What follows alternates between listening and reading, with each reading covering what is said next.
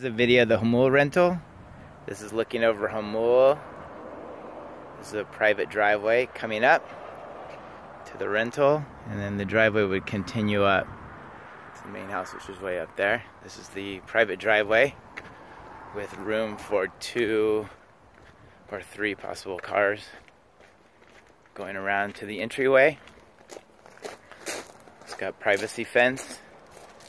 It's got landscaping with more privacy fence to the south. There's a 42 foot triple slide fifth wheel. Um, full one bedroom. There's area out here for a barbecue.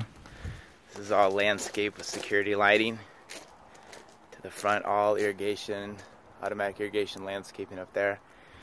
A full gazebo with Trex. Outside sitting area.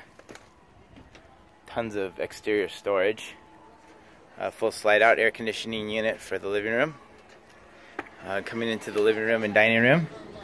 This is a kitchen, full kitchen, full size refrigerator, stove, microwave, coffee makers. And then this cabinet actually slides out or can go all the way back in for more space when you're not that.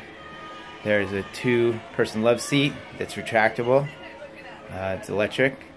View out the windows all over Jamul uh, Wi-Fi with television, all cabinetry, stereo system. There's a printer they have plugged in. Another recliner, full windows looking out at the up the hill at the landscaping, and then the three-person dinette.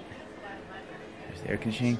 Going up into the bedroom, we have the bathroom, which is private bathroom with two entrances.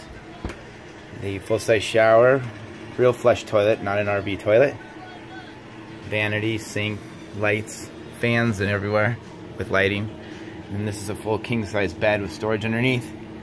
All built-in cabinetry, flat screen television, and full size closet, double slider mirrored.